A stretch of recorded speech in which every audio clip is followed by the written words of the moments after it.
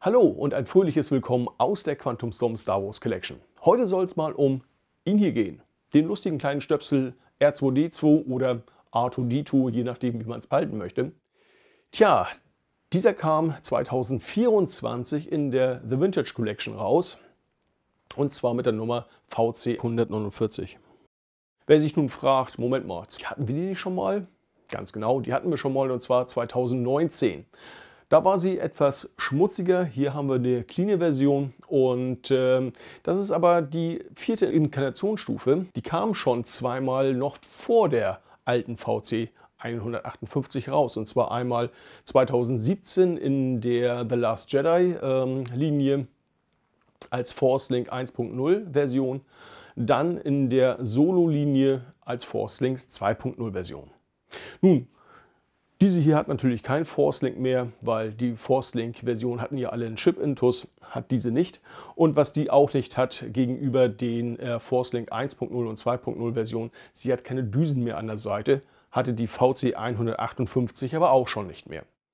Ob diese Version hier was taugt und wie das Ganze ausschaut, das gucken wir uns jetzt an.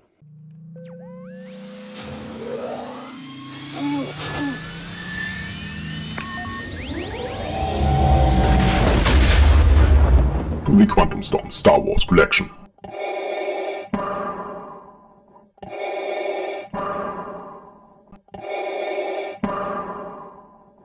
Kommen wir zuerst zum Kartendesign. In der Frontseite ähnelt sie natürlich der VC 149.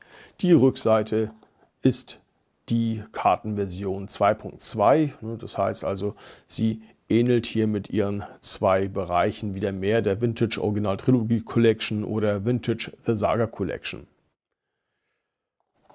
Die Vorderseite ist genauso wie bei der ehemaligen VC 149 und äh, ist ein bisschen heller geraten hier vielleicht, aber ansonsten ist das Ganze fast gleich.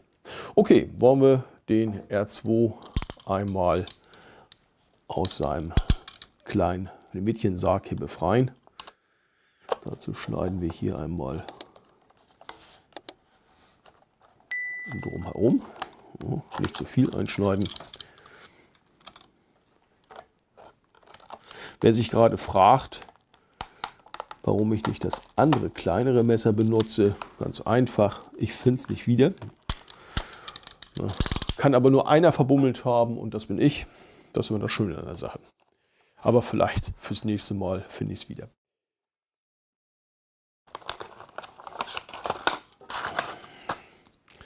Klar, der Zettel, dass das Ganze hier eine Gewährleistung hat, verschluckbare Kleinteile etc. Legen wir das mal hier hin.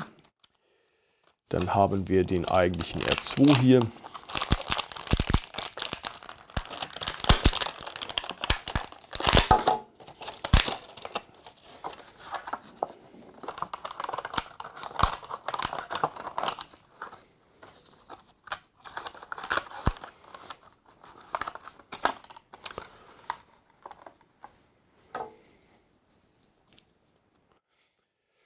Und das ist er, der R2D2. Klicken tut der Kopf nicht. Dafür kann ich den, wenn ich mich nicht ganz täusche, äh, abziehen, hätte ich fast gesagt. Ja, wohl doch nicht so richtig. Das, was aber gehen sollte, ist den Mittenfuß rauszunehmen. Genau, das funktioniert. Ne, der Mittenfuß hier wieder auch mit einer Rolle, genauso wie hier, damit er über den Parcours gleiten kann und dementsprechend kann ich den hier dann auch wieder hineinsetzen. Das ist immer ganz schön, hupsla, das ist immer ganz schön, wenn diese Figuren so einen weiteren Fuß haben, respektive den dritten Fuß haben, damit wir bestimmte Szenen dann auch nachstellen können. Denn es gibt ja durchaus R2-Modelle, die nur zwei Beine haben, also sprich diese beiden Beine und den Mittenfuß dann eben nicht mehr. Okay, das, was mich ein bisschen wundert, ist, dass wir den Kopf hier nicht abnehmen können. Was aber nicht zu sein scheint. Gut, macht nichts.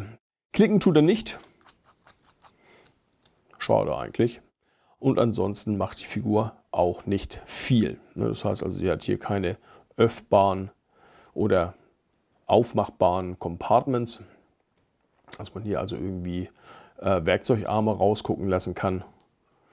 Hinten sieht die Figur natürlich dann auch, ich sag mal, eher schmucklos aus. Ne? Aber so sieht er halt aus, unser R2. Was man sieht, sind hier am Kopf ne, so ein bisschen verchromt scheint es zu sein. Es ist nicht wirklich glänzend verchromt. Er sieht schon gar nicht schlecht aus. Und ähm, von daher ist das soweit in Ordnung. Wir gucken uns auch nochmal die Detailbilder an. Dafür werden wir natürlich dann einmal wieder die Kamera in eine andere Position richten.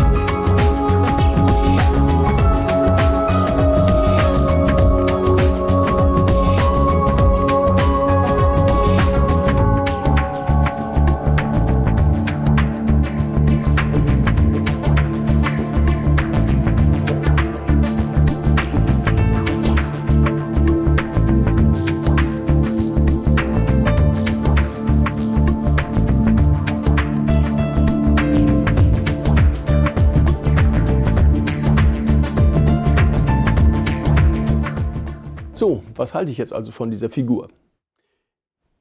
Eine Figur, die keinem wehtut. Ne? Sie, sie ist äh, vom Detailgrad schon in Ordnung. Sie hat ein drittes Bein und ähm, grundsätzlich kann man diese Figur schon kaufen. Aber ähm, sie ist so ein bisschen schmucklos. Ne? Das heißt also, hier, da klickt nichts. Ja, ich weiß. Im Film hat der Kopf auch nicht geklickt, von daher wollen wir es mal dabei bewenden lassen. Aber wir hätten hier auch Zusatz Teile haben können, wie zum Beispiel so ein Werkzeugarm. Der würde mir hier an dieser Figur tatsächlich noch ein bisschen fehlen. Aber ansonsten kann man eigentlich sagen, ja, man kann die Figur kaufen. Mit dieser Figur könnte man zum Beispiel jetzt die Kantina befüttern oder auch ein anderes Playset.